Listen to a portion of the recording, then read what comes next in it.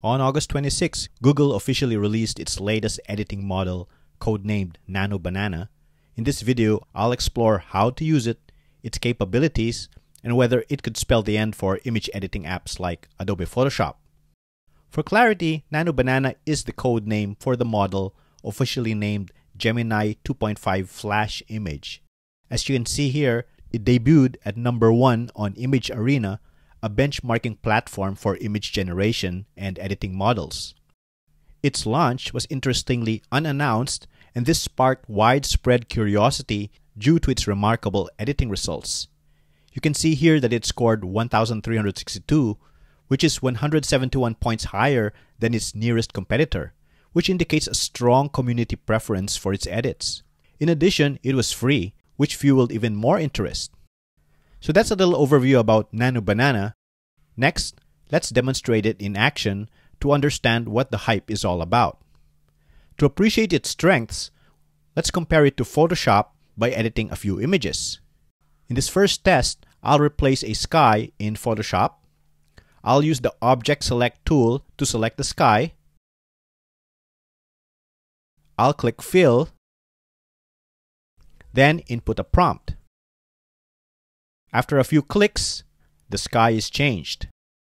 Now for a tougher task, making this portrait face the camera. I'll select the subject. I'll type the prompt face forward and generate the edit. And as you can see, the result shows a forward-facing portrait.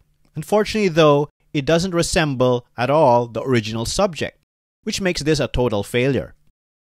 Now let's try Nano Banana using Google AI Studio. This is a platform for experimenting with Gemini models. Alternatively, you can also use the Gemini app, which was integrated with Nano Banana this past August 26. The process is incredibly simple, no buttons to click or selections to make.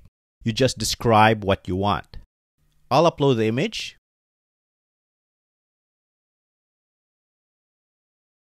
I'll type make the person face forward.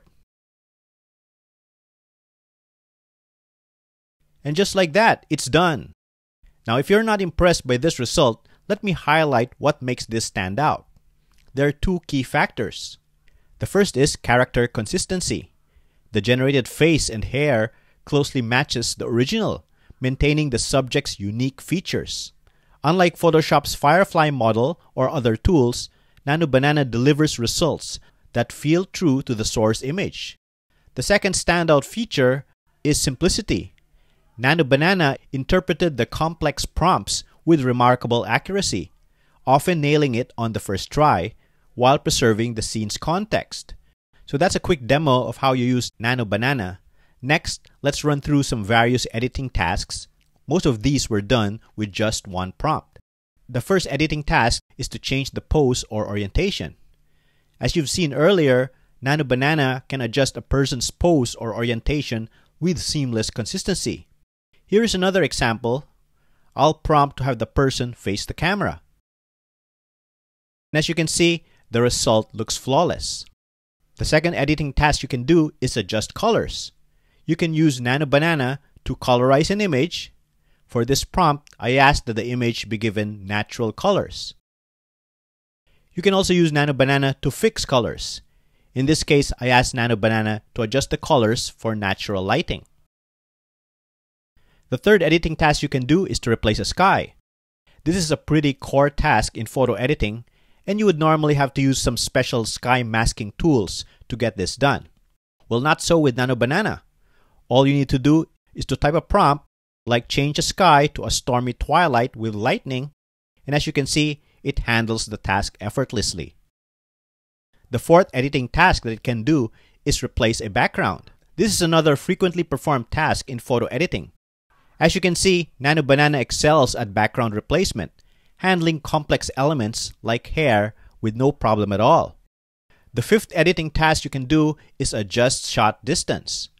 I prompted Nano Banana to move a portrait further from the camera, and the result was perfect. The sixth editing task is to add text.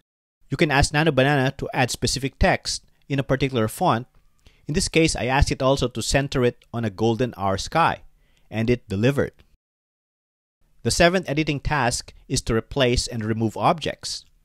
In this example, I asked Nano Banana to replace the headdress, outfit, and sunflower with a cap, yellow shirt, and rose, respectively. I added the Starbucks logo to the shirt later, in a second prompt. Nano Banana also excels at removing complex objects, similar to the fancy remove tools of Photoshop or Lightroom, but without any selections or masking. The eighth editing task is image fusion. In this case, I uploaded two images, one of a woman and an image of two dogs. I then prompted Nano Banana to output a woman walking a dog on a beach at sunset. And this is the result. As you can see, it preserved the likeness of both subjects perfectly. In this second example, I uploaded three images, a girl, a hat, and sunglasses, and I prompted Nano Banana to have the girl wear the hat and sunglasses. And again, perfect consistency. The ninth editing task is smart image mixing. For a creative edit, I prompted Nano Banana to create an image of the woman riding the dog. As you can see, it combined and transformed the elements into a cohesive imaginative output while maintaining the subject's likeness. And finally, the 10th editing task that you can do is portrait retouching. You can ask Nano Banana to remove blemishes, make a person smile, or even unhide a face with impressive accuracy, far easier than a dedicated portrait retouching tool. So those are some of the things that Nano Banana can do I'm sure there are a lot more. So, what was my experience editing with it? The best way to describe editing with Nano Banana is it is effortless. Effortless because it is extremely smart and rarely makes mistakes. And effortless because you don't need to learn any tools. So, the next question you might ask is which apps might be impacted? Nano Banana's capabilities could challenge several apps, particularly those targeting casual users. The first app that I think could be impacted is Adobe Photoshop Express. This app performs similar tasks as Nano Banana, except that it relies on manual tools, making it less efficient than Nano Banana's simple, fast approach for background replacement or object manipulation. Users might ditch Photoshop Express for Nano Banana. The second app that could be impacted is AI powered image editors. Apps like Fotor, Picsart, and Pixlr, which offer AI assisted editing, may lose users to Nano Banana's superior consistency, which is up to 95% character preservation and one shot editing. Another app that could suffer are specialized apps. Apps like Photoroom, which does background replacement, Facetune, which does portrait retouching, and services which do image restoration or colorization often require individual subscriptions and they face competition from Nano Banana's overlapping capabilities. With Nano Banana, you get all these features under a single subscription, offering a more streamlined and cost effective solution. Next, what about the impact on Photoshop, Adobe's flagship app? Should Adobe be concerned? Well, if you follow the stock market, you know that Adobe's stock price has declined significantly in the past year over AI competition concerns. From a high of 587, it is now priced at just 357 as of this writing. So there are clearly concerns in the marketplace about Adobe's prospects. But is it warranted? Well, initially I was skeptical. However, after using Nano Banana, my mind has changed. I believe Adobe should be concerned for two key reasons. First is outdated technology. Historically, switching from Photoshop to an alternative meant settling for lower quality or outdated tools, such as less precise AI masking or a lack of generative AI features. However, Nano Banana changes that. It's really the first alternative to offer cutting edge technology that makes Photoshop feel outdated, and you can get it at a lower price, challenging Adobe's dominance. The second reason is formidable competition. Tech giants like Google and OpenAI have the resources and motivation to advance conversational AI editing potentially surpassing Nano Banana and further reducing reliance on Adobe's tools. As these competitors innovate, Adobe's subscription model may struggle to retain users seeking simpler cutting edge solutions. So, going forward, it'll be interesting to know whether Adobe will rise to the challenge. Only time will tell. So, I hope you found this video helpful. Do check out Nano Banana in Google Gemini or Google AI Studio and let me know your thoughts.